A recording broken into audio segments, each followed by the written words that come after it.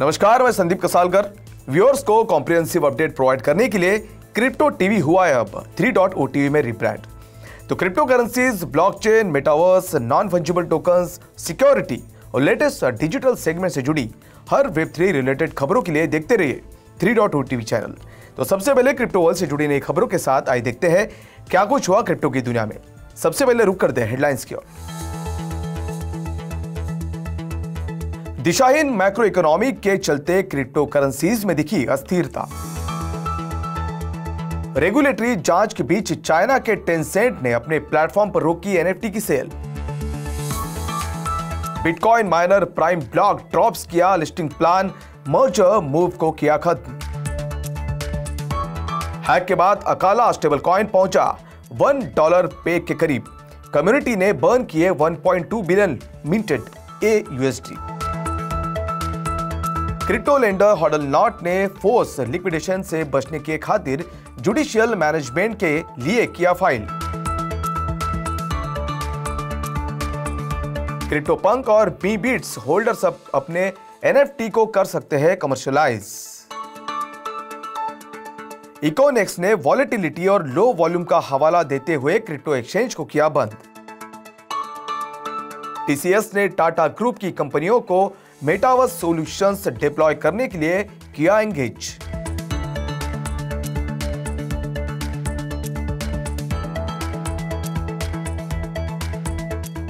अब देखते हैं खबरें विस्तार से। क्रूड ऑयल की कीमतों में ढील के बीच रिटेलर के रिज़ल्ट की हड़बड़ाहट से पहले क्रिप्टो करेंसी में उतार चढ़ाव वाले शेयर्स में इन्वेस्टर्स की अनसर्टेनिटी थी। जो यूएस इन्फ्लेशन को कम कर सकता है और फेडरल रिज़र्व को दरों में बढ़ोतरी की गति को कम करने के लिए प्रेरित कर सकता है।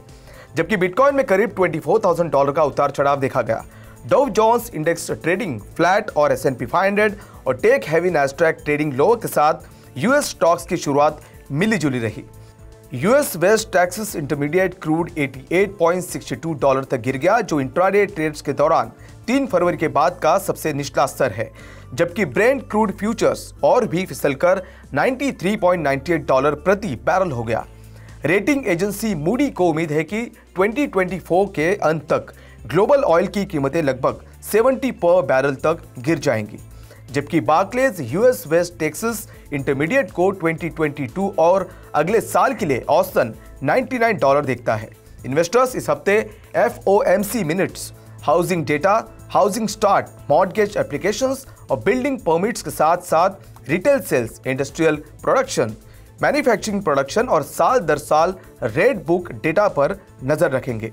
इन सब के बीच बिटकॉइन ने हाल ही में पिछले 24 घंटों में 0.7 परसेंट की गिरावट के साथ अराउंड 23,930 डॉलर पर ट्रेड कर रहा था जबकि ईटीएच को उसी समय के दौरान 0.6 परसेंट की गिरावट के साथ 1,880 डॉलर के आसपास ट्रेड करते हुए देखा गया। वहीं दूसरे सभी मेजर ऑल्ट कॉइन्स को मिक्स ट्रेड करते हुए देखा गया। Chinese internet giant Tencent Holdings ने मंगलवार को कहा कि वो अब रेगुलेटर्स की जाँच के बीच अपने नॉन फंजिबल टोकन यानी एनएफटी प्लेटफॉर्म पर डिजिटल कलेक्टिबल्स को जारी नहीं करेगी। पिछले साल अगस्त में शुरू किए गए सबसे बिगेस्ट डिजिटल कलेक्टिबल प्लेटफॉर्म में से एक हुआन है एनएफटी प्लेटफॉर्म अब मंगलवार से एनएफटीज नहीं बेचेगा। रॉटर्स ने टेंसेंट के एक बयान का हवाला देते हुए कहा जो वी चैट मैसेजिंग ऐप का भी मालिक है। हालाँकि जो कस्टमर्स एनएफटी के मालिक है, वो अभी भी डिजिटल आसेट के लिए रिफंड का रिक्वेस्ट डिस्प्ले या होल्ड करने में सक्षम होंगे। Crypto mining company Prime Blockchain ने special purpose acquisition company 10x capital venture acquisition के साथ मर्जर प्लान को ड्रॉप करने के बाद नेस्डैक स्टॉक एक्सचेंज में अपनी प्लान लिस्ट समाप्त कर दी है।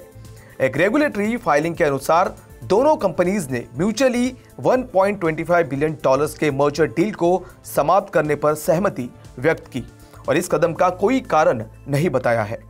एसपीएसी बिना ऑपरेशंस वाली एक कंपनी है जो पूरी तरह से किसी कंपनी को हासिल करने और उसे पब्लिक करने के इरादे से बनाई गई है। Polkadot base decentralise finance, यानी डीफाई प्लेटफॉर्म द्वारा वीकेंड में एक्सप्लॉयटर्स द्वारा मिंट किए गए 1.2 बिलियन से ज़्यादा ए यूएसडी टोकन के बर्न के बाद अकाल की native stable coin A USD US dollar के लिए अपने पेग को फिर से हासिल करने के करीब आ गई है। जिन्होंने प्लेटफॉर्म के लिक्विडिटी पूल्स में से एक में बग का फ़ायदा उठाया।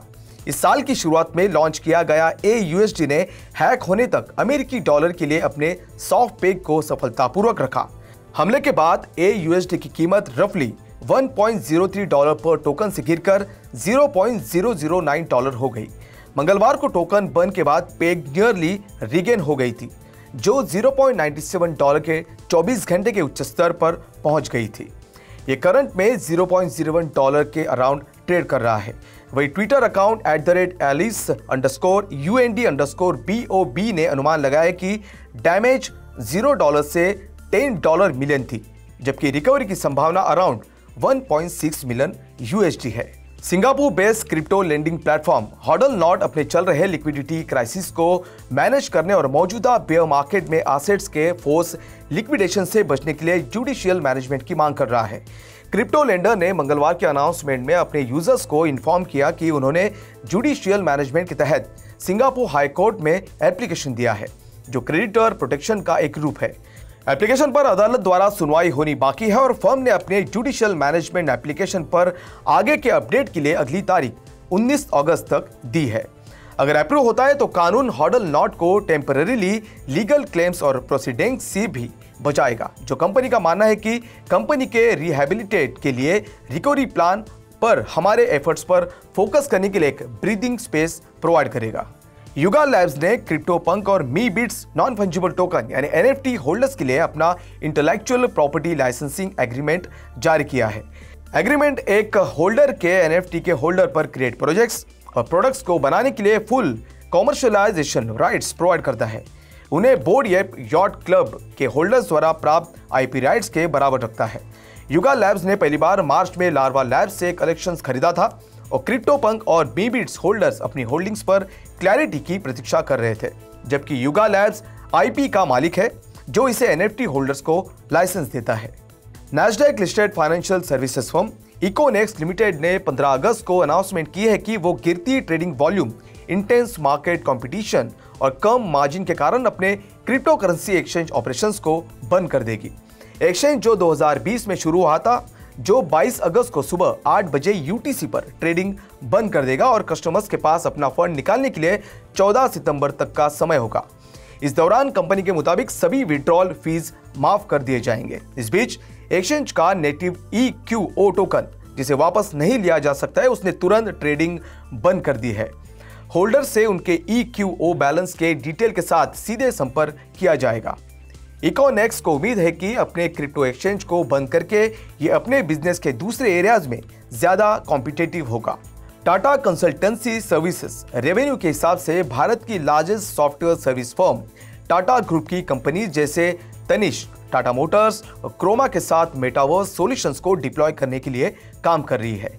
टाटा ग्रुप की ज्वेलरी आर्म तनिष ने हाल ही में मेटावर्स में एक नया कलेक्शन लॉन्च किया है, जहाँ गेस्ट तैयार किए गए पीसेस को वर्चुअली ट्राई कर सकते हैं। टीसीएस एक्सआर लैब के हेड अशोक महाराज के अनुसार कंपनी तमिलनाडु सरकार के लिए एक म्यूज़ियम मेटावर्स लॉन्च करने के लिए एक सॉल्यूशन पर भी काम कर रही है। इसके मेटावर्स प्रूफ ऑफ़ कॉन्सेप्ट के हिस्से के रूप में टीसीएस संयुक्त राज्य में एक मेजर मीडिया कंपनी के लिए एक नॉन फंजिबल टोकन यानी एनएफटी मार्केट प्लेस को बिल्ड कर रहा है। इसमें एक फ़ैशन रिटेल के लिए मेटावर्स में रिटेल मॉल सीपीजी वर्टिकल के लिए एक कैंडी मेटावर्स और यूके में एक लीडिंग बैंक के लिए वर्चुअल ब्रांच भी शामिल है।